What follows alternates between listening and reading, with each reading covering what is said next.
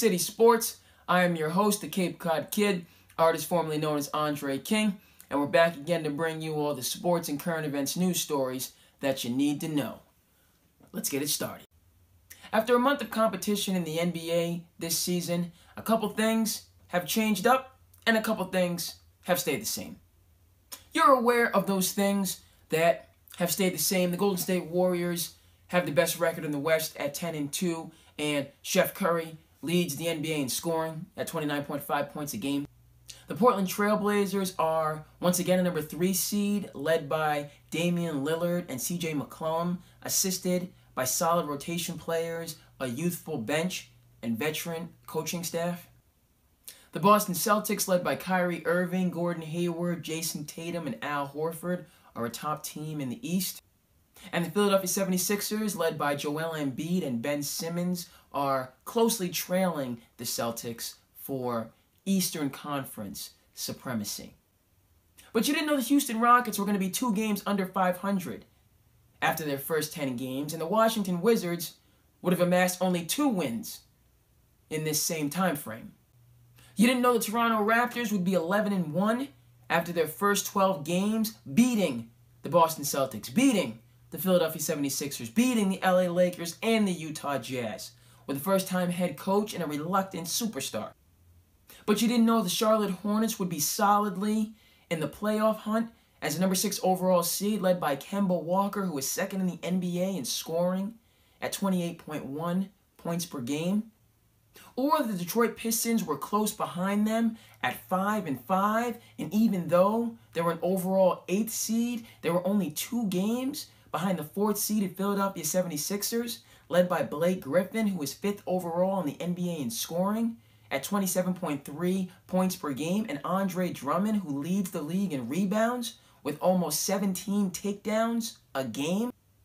No, you didn't know that, or that the Denver Nuggets would be the number two overall seed in the Western Conference, led by a dynamic young core of Jamal Murray, Nikolai Jokic, Gary Harris, and also Will Barton and Paul Millsap. No, we didn't know any of these things, and last but not least, we didn't realize that a team from Northern California would be in the playoffs after one month of NBA competition, and a team from Southern California would be on the outside looking in. Folks, right now we have a strong competitive balance in the NBA, and those of you who believe that the championship is destined to return to the Bay Area, I'd only ask if you happen to tune in for the late game on the NBA on TNT two days ago. Case in point, the NBA championship is up for grabs this season, which is a beautiful thing. And no, it's not a one horse race. There's about five teams in the association that can be bringing home the Larry O'Brien trophy which is just outstanding. That said, we've looked at the big picture view, and now the Cape Cod Kid has to get into some specifics. I'm willing to part ways with the 70 wins. I'll take a few hits on some side bets. But beyond this, I have a couple fundamental issues with the Celtics. The Celtics have eight players playing over 20 minutes a game, which is far too much, and their top players only playing just over 30 minutes a game, which is far too little. Look, folks, you've probably realized that basketball is not hockey. You don't play five or six minutes and then sit for eight to 10 minutes and then get up and play another five or six minutes. That's not how it works. If you are a star in the NBA or an all star above that or an MVP candidate above that, you need to be playing 35 minutes minimum every single night. Now, if you're going to counter that with, oh, look at the Golden State Warriors, none of their big four play over 35 minutes a game. Clay, Steph, and Durant play just under 35, and Draymond plays just under 30 minutes a game. Then I'm going to come right back at you and say that's because the Golden State Warriors are blowing teams out on a regular basis, which in their minds necessitates that their star players sit the entire fourth quarter, even when they're having undisputedly historic evenings.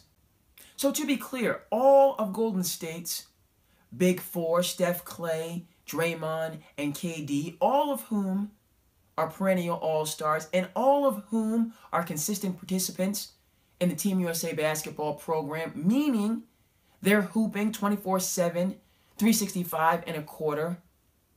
All of them play big minutes in competitive games. All of their games might not be competitive, but when the Golden State Warriors are playing the upper echelon Western Conference teams, their big four are out there on the court for the majority of the game.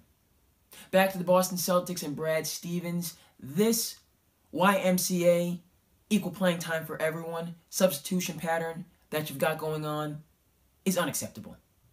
To be clear, I think Brad Stevens is a top three coach in the NBA, bar none.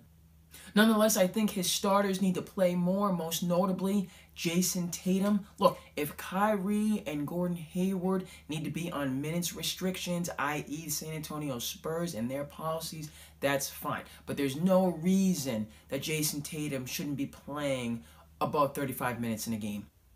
Look, the fact of the matter is stars play. Most notably, LeBron James, who is 11th in the NBA in minutes, but Anthony Davis, DeMar DeRozan, Blake Griffin, Devin Booker, James Harden, LaMarcus Aldridge, Jimmy Butler.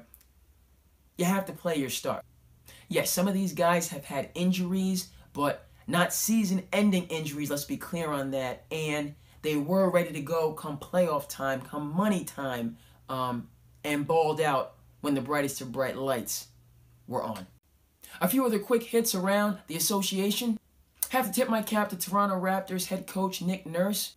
First time as an NBA coach, the Raptors are off to an 11 and 1 start. This is a dynamically different team than he was an assistant coach on last year, and he has these guys playing at the highest level in the entire NBA.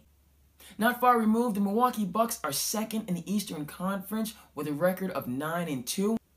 Led, of course, by Giannis Antetokounmpo, but also Coach Bud, coming from the Popovich coaching tree. Has this team that lost in the first round last year playing at an elite level. Manifest by the 20 piece with special sauce that they handed out to the Golden State Warriors on Thursday night.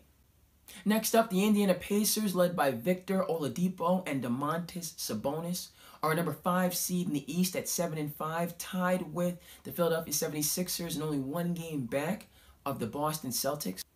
Both these young men are playing on par with the elite players at their positions league-wide. And finally, after a rocky start and handful of close losses, the Los Angeles Lakers acquired a player with energy and championship pedigree in Tyson Chandler, who could provide the defense, rebounding, and toughness needed to help restore this storied franchise back to contention. Also in the world of hoops, have to discuss what's going on in the WNBA right now, as the players have decided to opt out of their collective bargaining agreement with the league. Now, to begin with, I have to say that if you consider yourself to be a true fan of the game of basketball, and somehow you're not a fan of the WNBA, then I don't consider you to be a true basketball fan, point blank, period. Never mind the fact that the best basketball players on the planet support women's hoop. The fact of the matter is, all of the dynamism, innovation, creativity, and savvy that we see in the NBA game is also on display in the WNBA game, which just happens to be played below the rim for the most part. That established, I think it's important for the basketball community to take note that the WNBA and their players union are working out a new collective bargaining agreement because you and I both know that it's unacceptable that Breanna Stewart, who was not only a 2018 WNBA champion, 2018 Finals MVP, League MVP, two-time All-Star, and oh, by the way, four-time national champion and three-time consensus National Player of the Year, Yeah, that young lady made about $58,000 last year with all those championships and most valuable, you heard what I said. To be clear, both Adam Silver and David Stern have shown great vision, leadership, and perseverance for over two decades as relates to women's basketball. And in my view, chartered flights have very little to do with the current sustainability and future advancement of the WNBA. There are certainly a number of things to be worked out. All parties have been very attentive to these issues over the league's 22 year career. But we as basketball fans need to watch the NBA draft. We need to watch Summer League. We need to pay attention to free agency. And we also need to tune in to the WNBA during the summer months for the good of the game of basketball and all of its participants. So, ladies and gentlemen, a college basketball game was played on Tuesday, and it was kind of a big deal. As the number two Kentucky Wildcats matched up against the number four Duke Blue Devils in the Champions Classic, the story of the night beyond the tradition, championships, and leadership of both storied programs was the sheer spectacle of athleticism put on by the players on the court. This game saw both teams score the same amount of points in both halves for a final score of 118 to 84. And by now it's quite clear that we can thank RJ Barrett, Zion Williamson, and Cam Reddish for that result. This game made statements on many levels. But above all, this contest was about what college basketball should look like instead of what its leadership is making it look like. We know that this game included John Calipari, an NCAA championship coach who for up to a decade dominated the one and done market, becoming the only coach in college basketball history to have a number one overall and number two overall draft pick in the same recruiting class. And of course, this game also included Coach Mike Krzyzewski, who has won five NCAA tournaments and is now the only coach in college basketball history to have the number one overall, number two overall, and number three overall recruits play for his program. You might have heard of them. So, folks, the players performed the fans were happy. The NBA executives were happy. The ESPN executives were happy. And we weren't focused on $100,000 here or $200,000 there that an elite prospect may have received. In a world where one coach from Kentucky makes upwards of $8 million per season and another coach from North Carolina makes upwards of $9 million per season. No, in a multi billion dollar industry whose consumer confidence seems to grow year in and year out, we weren't focused, and the NCAA shouldn't be focused, on fractions of 1% of the overall revenue possibly going to players or their families or denying the transfer rights of a student athlete whose rationale is beyond any reasonable doubt. You, me, and everybody else was focused on a good ball game on Tuesday. And that's what the NCAA needs to focus exceedingly more of its attention on going forward. After the first game of the second half of the NFL season, you wouldn't believe it if I told you that the New England Patriots Pittsburgh Steelers, Houston Texans, and Kansas City Chiefs are all atop their divisions in the AFC. Hard to believe, never mind the fact that the New Orleans Saints, Los Angeles Rams, Chicago Bears, and Washington Redskins are all atop their divisions in the NFC. After a 1 and 2 start in New England, a star running back holdout in Pittsburgh, an early, early season acquisition in Chicago, and the acquisition of a new offensive coordinator in Carolina. Two AFC teams are exactly where you thought they'd be, and two NFC teams have surprised a number of people and justified their bold actions. No doubt the NFL, true to its scheduling formula and history, once again has a situation where there are five teams in each conference who have a legitimate shot at taking home the Lombardi Trophy. In conclusion, this is Sand City Sports, and we are coming at you from a sunny peninsula in the Commonwealth of Massachusetts. And therefore, I'd be remiss, even though I'm quite a bit late on this story, if I didn't recognize the 2018 World Series champion, Boston Red Sox. Folks, they say wisdom comes suddenly, and this championship team appeared suddenly, achieving things that, frankly, it is going to take quite some time to fully deconstruct. They won 119 games total, 108 during the regular season, a mark that only the 1998 Yankees, with 125 wins, have surpassed.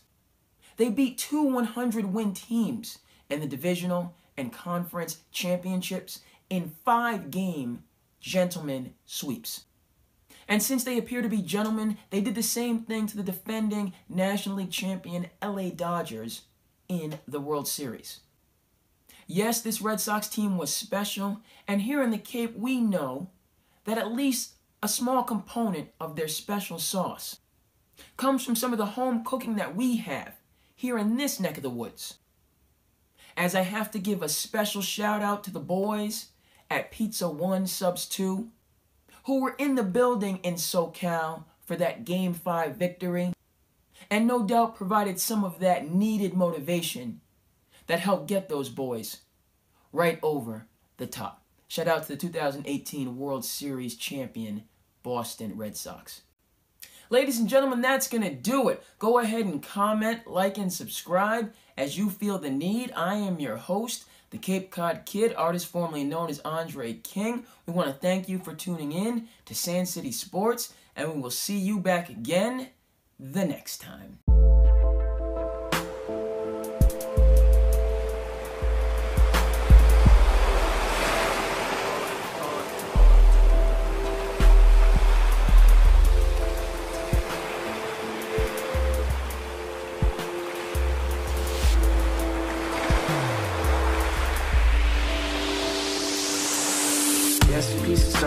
Sedate ourselves. Just in the numbers, pain we feel. Yes, at times we do hate ourselves, but each day we try to retake ourselves. So, yes, we piece of souls do sedate ourselves. Just in the numbers, pain we feel. Yes, at times we do hate ourselves, but each day we try to embrace ourselves. Yeah.